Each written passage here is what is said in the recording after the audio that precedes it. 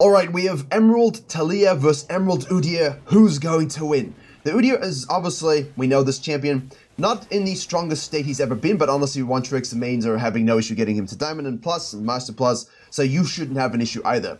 Taliyah is one of the great meta surfers, pun not intended with the skin, in the game. She's really difficult to play, really rewards good junglers with good mechanics, but mostly good anticipation. That E for mobility, that W for disengage, is equally as good as the engage with it. So, what can we do with this champion and Emerald? Let's see how we go. And let's see what the Udyr does, obviously. Hail of Blades on him, first strike in the Taliyah, that's pretty good. You can go Dark Harvest, also always could. I have seen some electrocutes, but while like damage proc is nice on the one shot, you kind of one shot without it, so it's not really needed. And Aurelion Sol will be strong later no matter what. So clear cross timer 221, that's pretty good. Udyr cross is over at 224. It's been a while since we talked about the cross timers, but remember, when you are practicing your clears on your chosen champion, track when you cross from the red side to the blue side or the blue side to the red side. Compare your clear to your favorite jungler, your favorite challenger jungler, and see where you're losing time and in which quadrant. Because some people have magnificent blue quadrants and terrible red quadrants, but they spend so much time trying to find the optimization on the blue side when it's perfect, and all you gotta do is figure out the red side problem. We have a LeBlanc support with a Twitch ADC and a Ziggs and Blitzcrank, so that's going to be interesting. Obviously, they've already moved up to ward. If you're paying attention to when they dip in and out of vision, you will see this. So we know it's warded, but can we get a gank off anyway? We have a good angle of approach here. Blitzcrank is a little slow, but they disengage as expected.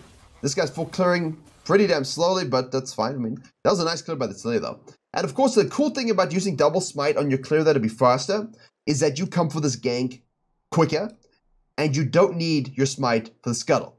Because it's pre 330 and this guy's going in the other direction, you're not contesting this, the, the, the scuttle crab, and we can use the time to gank first to set up a guaranteed prior scenario for this. We're thinking about. Obviously, now you have to wait a little bit. I wouldn't do this. I would go and ward the, the Gromp first. I go ward the Gromp and then come back down for this and then repeat gank bottom lane. Udyr's obviously on the top side. Let's see how we do. It's a tough lane to gank, honestly. She does it in another order, but that's fine as well. It's not really... I'm being nitpicky. You could have done it in either order. The only reason I would do it in this order and this order first is if this looked volatile enough that I'd need to rotate before getting to ward, or I thought I was going to go cross mid lane. Like, say the jungler goes here, 24 CS, level 4, and dies. That means I know that Scuttle Crab's available. So this is warded. I can take this cross mid lane in the shadows, and then go ahead and take the double Scuttle. And then obviously if this is gankable, do that as well. Otherwise, back to base, do your quadrant, relax. A lot of cool things you can do. Relax is a cool thing to do as well. Now, here we go. This is the problem with it. Tough, tough lane to gank. The distortion, the camo.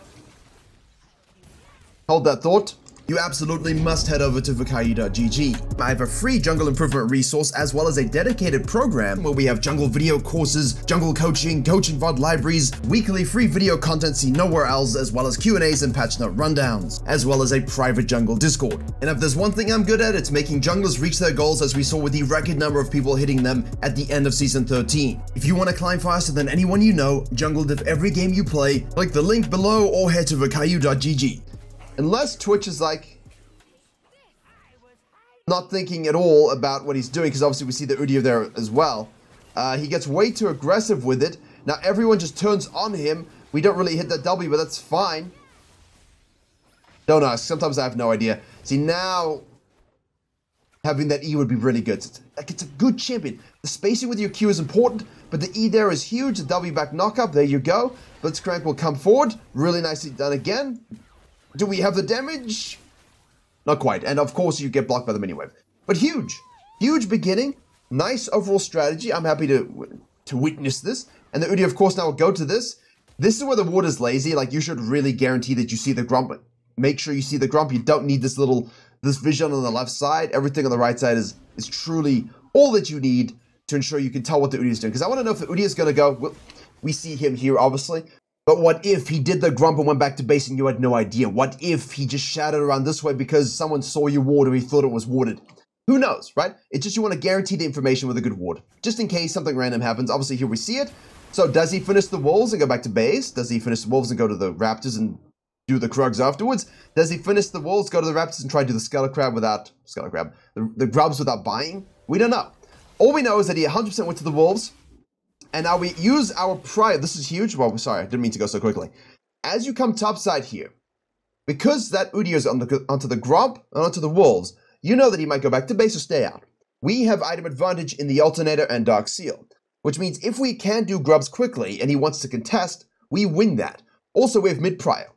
Pretty damn important to recognize that as well. So here in this scenario, worst case scenario, you should be going straight for the grubs just to deny them from him. Even if you don't value these at all, making sure he doesn't get them is just as much a win because he will waste his time looking for them and wasting resources and things like that. However, FKC top lane, hey Fiora, you're kind of low, and I've got my support rotating with me. Why don't we go ahead and get a nice little gank up here? Super nice, super free. Now, can we translate this kill into objectives? Udyr has stayed out, which guarantees that he should not go for this. Don't go for it, Udyr. You haven't paid for anything. One grub is down. Here's the LeBlanc rotating. That does change things a little bit. And now that the Yone's gone back to base, it does affect us because Fiora has TP and the Zac has to base. So the situation has evolved a little bit. We do have a smite here. Obviously, use it at 600. And then if you think this has evolved to the point you can no longer fight, leave. The problem is we waited too long on our smite to coin flip it. We have 600. Use it at 600 and bounce. Take your two and walk away. You do not need to die for this whatsoever. If you think you can actually win this fight Yone is going to rotate, please stick around and make the fight. But obviously, now there's a 3v2, and this is exactly what we're trying to avoid. Because we're level 4, the LeBlanc has rotated over, the Zac isn't in the picture. I don't want to result space this and be like, yeah, you know, this was a good fight to, to have. Twitch is rotated as well. And now we're just going a mega, mega fist as Fiora gets kills also. See, there you go. I don't I don't even know who's truly winning this scenario. The, the Fiora getting anything is pretty damn bad. Um, the Ziggs is obviously pushing the turrets, but the Twitch getting anything here is also not so good. Yeah. Not good. So I like the overall play. Gank first, go for the grubs. If he stays out, we win. Problem is, Yone goes back to base. He wasn't in the picture. Zac has to go back to base. He wasn't in the picture. LeBlanc shows up. If it's just the Udyr, fine. We'll fight it, we'll kill him, no stress. But because they now had huge numbers, take two, smite early, and run away. That's it. That's a fight. Ping everyone off. We're done. Force the rotation from the Twitch. Give them the one grub. force the whole team to rotate. And They get one grub and zero kills. You win. And that's kind of the point of driving home here as well. From this, you can fall back to your side quadrant. Obviously, a little nervous, uh, but I don't think we need to be. Yeah, so he's pushing bottom lane. There's Udyr with Swifties getting a free kill. Uh, I, I, don't know, bot lane moment. Now, obviously, from that, you know that he's most likely going to go to the, again, most likely going to go to the dragon, could easily cut into the mid lane. We see the pings, could easily cut back here, could easily go here. He could do a lot of different things. So I like where the Taliyah's head is at, which is, hey, let me counter jungle. And when we go for that, we see the rotation, and now we can trap. Do we win this 2v3? Question mark. Probably not. So in which case, leave. I don't think we should be here at all. Fiora's not in the picture. Zac is busy chilling on the wave. I don't want to be here at all. This is not economy permitted. This is not golden experience permitted. This is a bad situation to be in. I like the idea of saying, hey, he's probably on Dragon. Let me take his jungle in the meantime and gank top lane. But the problem is, he didn't do Dragon. LeBlanc Road, which is what she does, to the mid lane, to Goon Squad. I see the Goon Squad, I'm like, all right, I'm out. See ya. Go down to the bottom side, do these camps, uh, go here. Like you see Udyr chase, just go around here, say thank you, thank you, gank Twitch. I use your ult to, to block him down. Like there's more plays you can make by just sacrificing the Yone and sacrificing the side of the map, especially if Udyr wants to chase the Yone across the damn country. Just go around. Shatter. Waves pushed up nicely. You can easily shadow across here. Ooh, a little close, but you can do it. Ignore this. Tight pathing against the wall like that, and you're good into his jungle, snake some things, kill the Twitch, live your life instead of dying because you thought you could actually win a 4v3. Your Zac is clearly not fully aware of what's going on in this game, and now we're totally compromised. Now all of a sudden the Udyr is 1-1-3, gold amount 2.6, and we're at 3.2, which is still a gold lead for us, but his team is significantly further ahead because of the residual impact of our decisions. Truth. Forced the grubs instead of taking two and running away. Stuck around here instead of just sacrificing and going and taking other things. If you go take other things, you get the Zig snowball, you're in a good position. Now, at this stage, Most likely, I do think Udyr, I, I think Udyr could easily come down here, so I've done a full clear basically. Let me just shadow into the bottom lane gank. If Udyr doesn't show, I get a good gank off. If he does, I get a great counter gank, and we get a dragon thereafter. Oh, look, there he is. That worked out for me. I could have paused a little later. See what happens. Hit on the Twitch, but put him closer to the Ziggs. Uh, we do kill him. Udyr shows up here. Obviously, this is where Taliyah is definitely weaker. I'm glad that we turned onto the LeBlanc, but this is where Taliyah is weaker. Against things like this that can stay on top of her, that don't allow her to keep that kiting distance.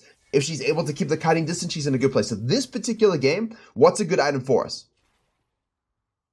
Ludens is fine, but I, I, I still like having a Liandry's and a Rylai's in these kinds of games.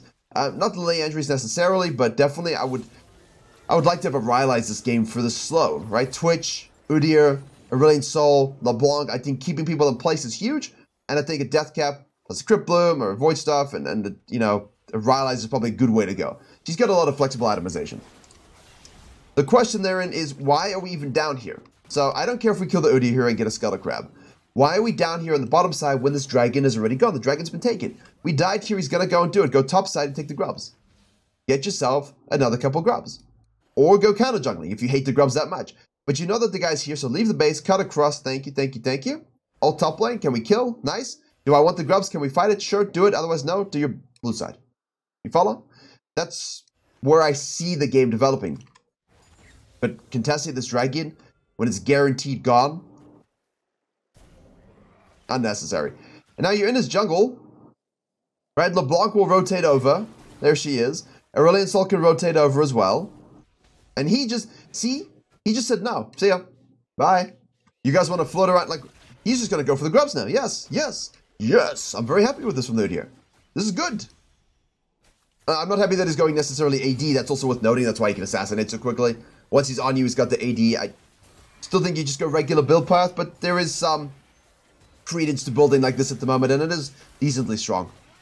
So I had a coaching class from the private Discord, obviously, um, today.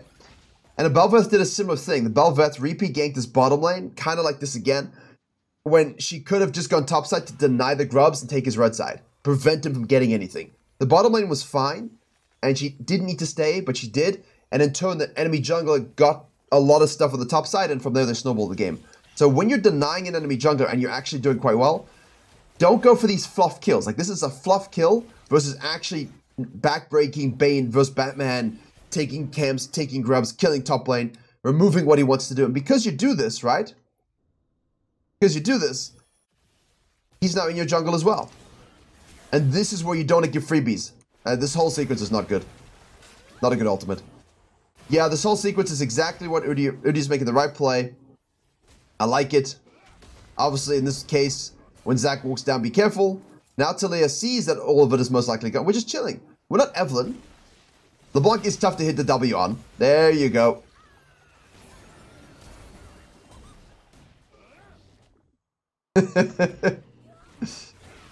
As I said, she's tough, but we hit the Aurelion Sol. Mind games. Uh, Udyr base is here, which is, you know, he's got Ghostblade. Yeah, that's fine, little snack. Taliyah can do that. We take that snack. Takes his red. Go to his Krugs. Most likely. And he can loop back over Jonas Shove with this. We've taken this turret plate, which is great, but I still think like 42 grubs is not fair. We should have had five. The bases, blasting one makes the most sense. I, am very happy with the way that Udyr stabilized. Like he was not playing very well early, but since then, nice cut and topside. He got it. He put himself back in the game. Always as I say something. But remember, with this build, this is why I don't like it, you're super squishy. At this stage, the satchel charge is used, you see the Blitzcrank. Why are you full committing to this? Because Tile could always rotate, there is a big silence. Once the guy satchel charges out and you see Blitzcrank, just back up. You know you got your camps, play it safe. You're not going to assassinate anybody, especially against the Taliyah. So, good job by the Taliyah. Death Hook. And, of course, uh, yeah. Nice rotation. That's all I really have to say about that. But you can see Emerald is interesting, no? Like this, this, uh, there's a lot of this back and forth. Hey, I'm in control, and the enemy jungler makes mistakes. Then the one in control makes a mistake, and the enemy jungler's back in control. Hey, I'm in control. and then they just go back and forth like this the whole time. They seesaw the whole time, and that's why no one truly dominates as much in terms of the whole game. Like, someone can have better KDAs, but Q2 is the boulder. Good patience on that. Good patience. Didn't overreact. Saw the Twitch showing up. Knew he couldn't kill uh, the Taliyah, so just disengaged. Went for the full combo. Udyr now is like, this is much better. I can just run people down. There it is. But he's squishy with this. Very squishy. Could just hold mid lane after the red. No plates really to worry about, but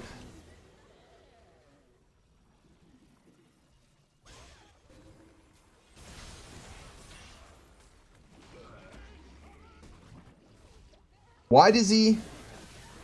Why does he walk up? Like, sure, the Udyr doing that with the Q max build is, is a little ridiculous, but why did you even walk up when you know that he could do that? Like, yes, it's bullshit, but you know it's bullshit, so why do you let him bullshit on you? uh, gold amount of 40 minutes. Uh, 6,000 on the Udyr now and 7,100 on the Taliyah. She's done a good job first strike working. Udyr done a solid job as well with his picks.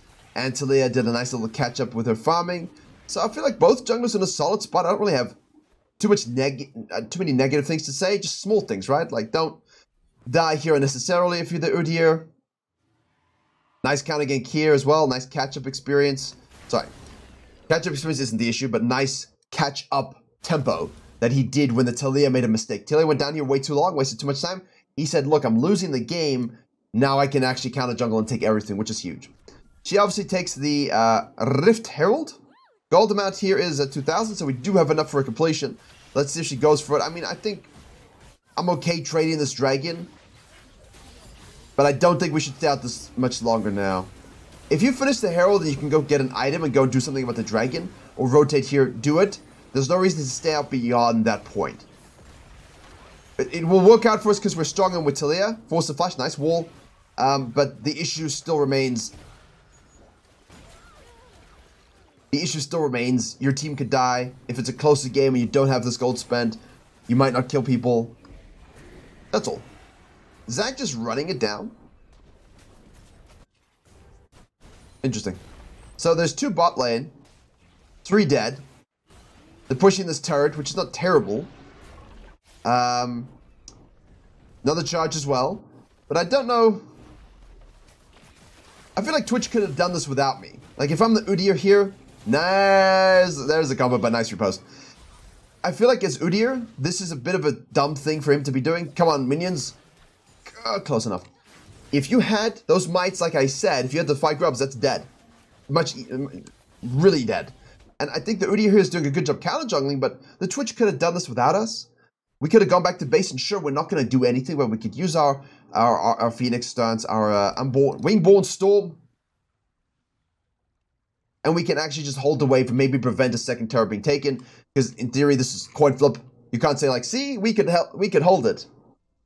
You don't, you don't know. So, yeah, interesting, very interesting. Now he stays out.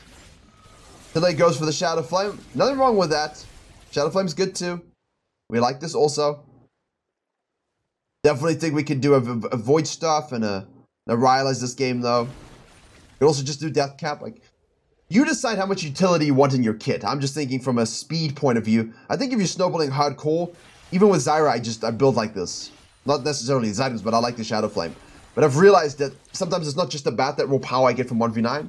It's about the utility from the more, the less carry items, the more utility-based items, that allows more scenarios to end well for me and my team, not just me.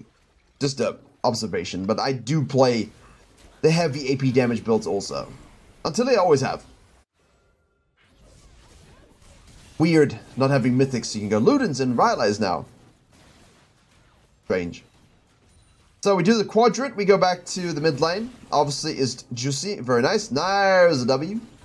Uh, uh, repost used. Now we can just keep spamming. There it is. There it is. Beautiful Q flash into the Q2.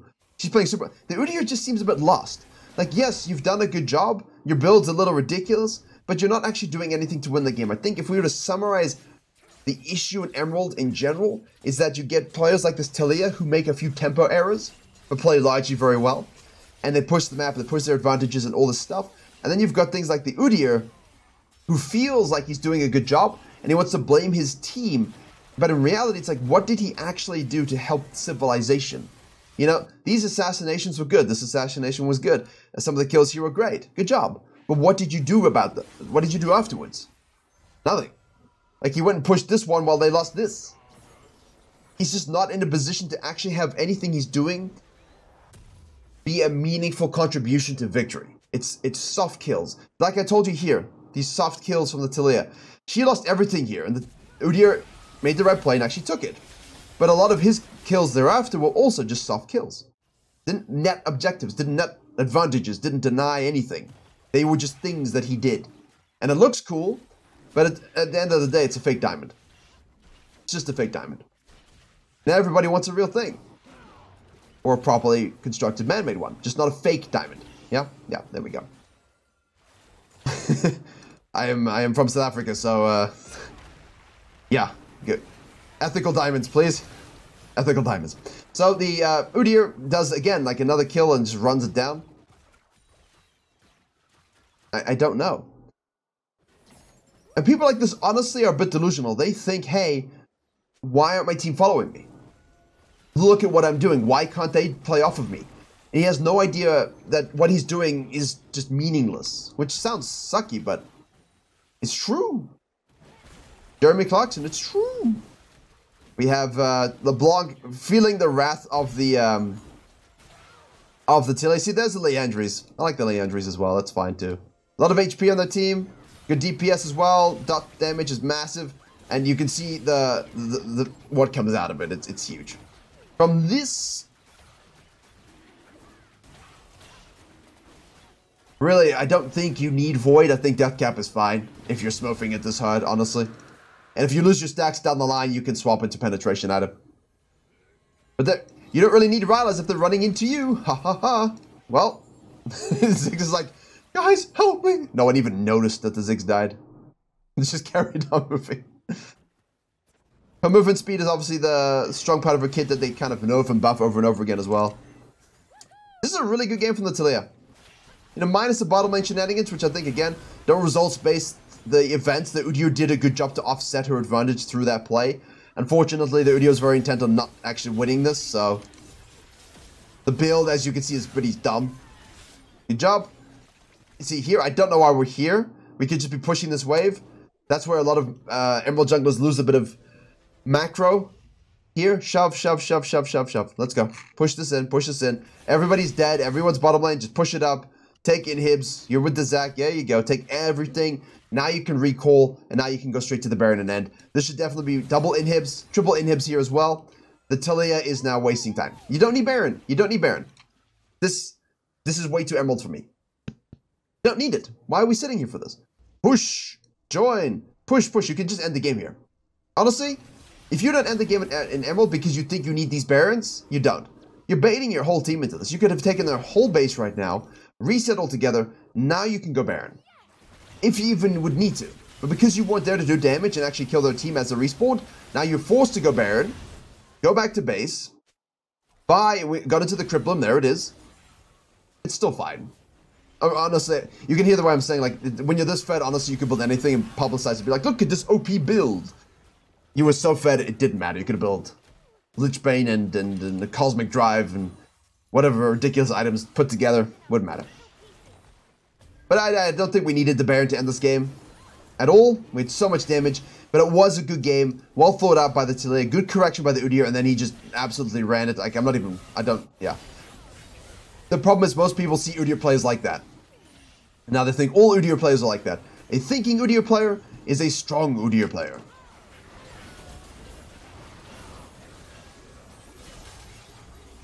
And we go ahead and end so.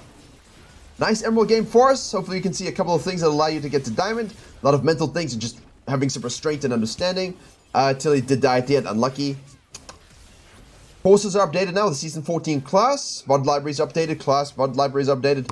Uh, everything's stacked up with knowledge for Season 14 climbing, so I hope to see you on the website. Or otherwise, in the next video.